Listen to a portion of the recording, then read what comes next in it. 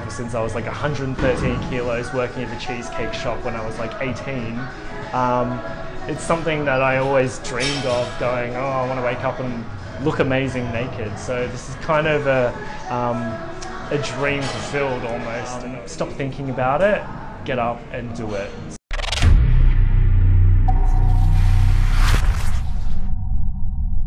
Hi, I'm Thomas. I am 33. Being 10% body fat now has had a significant impact on my mood, um, my kind of general well-being. Um, so I think I'm a lot more outgoing as well, definitely a lot more confident um, in and around, like around various types of people.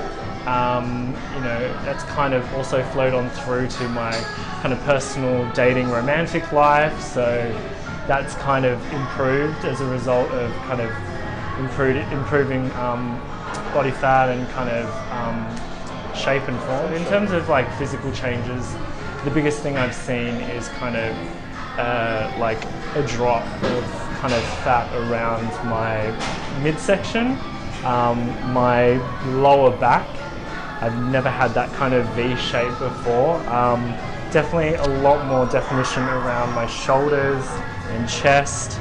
Um, so there's abs that are coming through I've never had in my whole life, so that's kind of exciting to see.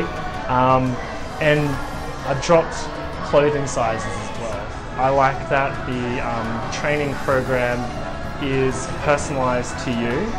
Um, you know, there's the accountability, there's all the measuring that happens from week to week, and each um, kind of week you can see the difference in all the efforts that you put into the gym, into the gym and the nutrition, and you know taking it from week to week, and you know really listening and looking at what your body's doing, and then applying, you know, what you're going to do for the next week.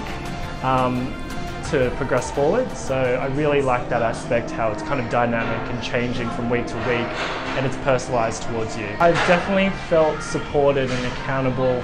Um, the communication between you know client and trainer is fantastic. You know, there's always follow-up texts after your training sessions, seeing how you are. There's always encouragement um, for you know, your scheduled training sessions that aren't with your trainer. So there's always that kind of constant open line of communication and, you know, motivation from, you know, every day. So it kind of, you know, just spurs you on to keep on going. I found the different phases um, enjoyable, fun and challenging all at the same time. It really is a bit of a, a roller coaster. Um, but you know, with roller coasters going up and down, it's always fun. I think there's a lot of information out there you know, from different people, from the internet. So it's very hard to kind of demystify and decipher what is correct and what's right for you. Um, so I think that's probably why I didn't get the results. Um, nutrition didn't have all the information. Um, I wasn't equipped with all the information to do with nutrition. I thought I knew, but I, when I, you know, put this program into practice, um, it really kind of shone a light on how you know wrong I had it. So yeah, I think nutrition's a massive thing. No kind of you know wondering what you're going to be doing. It's very um, clear and concise. Um, you know, training and nutrition and program. So I recommend it for that reason. Um, I recommend it for the reason that it is tailored to you as well. So every individual is different. Um, from fitness goals um, to the way your body reacts. So, you know, having a personalized training program I think is really important.